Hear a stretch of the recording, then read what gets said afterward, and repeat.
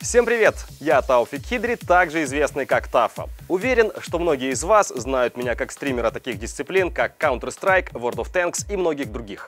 Не так давно я делал обзор гарнитуры HyperX Cloud. Теперь же у нас появилась отличная возможность протестировать новую модель гарнитуры HyperX Cloud 2. Так в чем же разница, спросите вы? По внешнему виду коробки практически одинаковы. Не сразу заметишь цифру 2. По весу также одинаковы. Да и сами гарнитуры выглядят одинаково. Что стоит сказать? Прежде всего, спасибо производителю. Практически все части второй и первой модели гарнитуры взаимозаменяемы. К примеру, микрофон. Можно легко использовать, разъемы не поменялись. Дополнительные комплекты вот этих штук также взаимозаменяемы. Ну и в принципе, если у вас сломается вот такой вот металлический держатель, в чем я очень сильно сомневаюсь, то я уверен, что найдется народный умелец, который и эту штуку сможет переставить.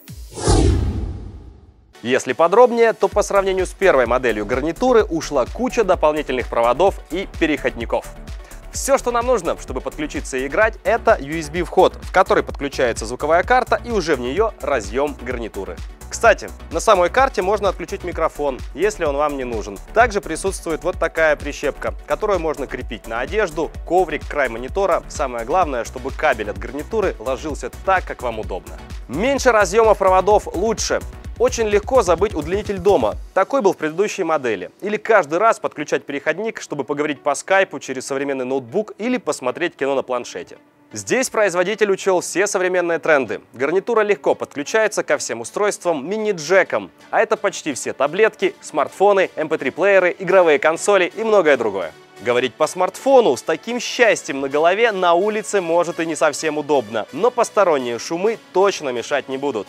Теперь о звуке. Модель следующего поколения. Звучат наушники хорошо и даже лучше. Не только благодаря карте 7.1, но и великолепным 53-мм динамикам. Самое важное в динамических играх – это позиционирование. Справа выстрел, слева топнул или прыгнул соперник. Вы точно разберетесь, где это произошло и сможете реагировать. А в играх с богатым звуковым сопровождением, гоночные симуляторы, танки, аркадные игрушки, ты просто получаешь удовольствие от звучания. Микрофон.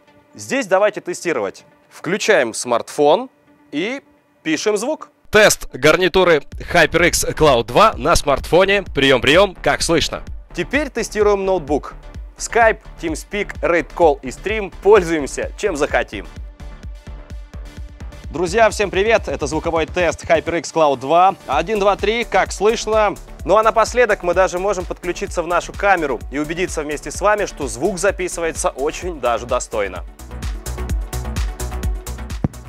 1, 2, 3, прием, прием. Это гарнитура HyperX Cloud 2, как слышно, как слышно, звуковой тест. Дизайн и материалы традиционно хороши. Все кабели в тканевой оплетке, оголовье из кожи тщательно прошито. Надежный металл и качественный, приятный пластик. В дизайне есть небольшие изменения. Теперь доступны две модели, где по цвету отличаются вот такие металлические держатели. Есть красный и стальной. Вот в таком белом цвете гарнитура больше не выпускается. Правда, есть лимитированная версия в розовом цвете. Итоги. Внешняя карта с 7.1 звучанием, легкая и удобная. Ну а самое главное, надежная геймерская гарнитура HyperX Cloud 2 – это достойное продолжение линейки. Рекомендую. Ну а если вы хотите узнать больше, подписывайтесь на официальный канал HyperX на русском языке. До встречи!